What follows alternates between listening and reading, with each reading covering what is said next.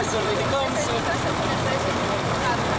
Un exercițiu de amploare al Inspectoratului pentru Situații de Urgență Cluj a avut loc astăzi dimineață la Spitalul Clinic de Recuperare din cartierul Zorilor. Alături de ISU la simulare au participat și Jandarmeria Cluj, Poliția Locală, dar și angajații ai Serviciului Județean de Ambulanță. Oxigen! Exercițiul a început la ora 11 și a durat mai puțin de 15 minute, timp în care s-a simulat o intervenție în cazul unui incendiu într-unul dintre saloanele spitalului și o alunecare de teren. Pacienții și câțiva medici au privit curioși de pe margine desfășurarea de forțe a celor implicați în acest exercițiu. Foarte frumos și bine. Frumos, da. Credeți că este România pregătită sau spitalele din România pentru situații de urgență deosebite? Da, da, da, da, e pregătit. E foarte bine organizată, cum am văzut eu, da.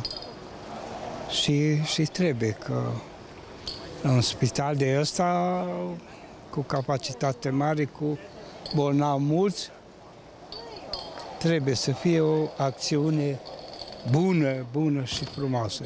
La acțiune a fost prezent și prefectul județului Aurel Cherecheș. Este un exercițiu complex, mai multe instituții implicate. Vreau să le felicit de pe acum pentru ce am văzut cum s-au implicat.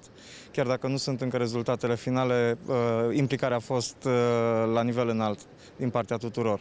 Este un exercițiu pe care noi îl facem lună de lună.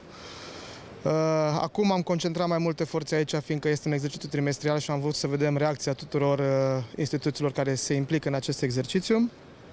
Din punctul meu de vedere, eu cred că suntem pregătiți pentru a face față oricărui scenariu sau mai bine zis, oricărei situații de urgență la acest spital. Reprezentanții Spitalului Clinic de Recuperare s-au declarat mulțumiți de această acțiune. Principala noastră problemă ar fi, în primul și în primul rând, evitarea oricăror riscuri pentru pacienții și pentru personalul existent în spital. Exercițiile acestea pentru noi sunt extraordinare pentru că, deși repetăm în mod frecvent exerciții de evenimente din categoria evacuare în caz de incendii, aceste exerciții concertate de profesioniști ne arată posibilele ezitări, posibilele discrepanțe, ne cresc viteza de reacție și practic ne pregătesc să fim eficienți când Sperăm că nu se va întâmpla, dar se poate întâmpla un eveniment. Astfel de exerciții sunt programate trimestrial la Cluj-Napoca, unul dintre județele cu cele mai multe intervenții în situații de urgență la nivel regional.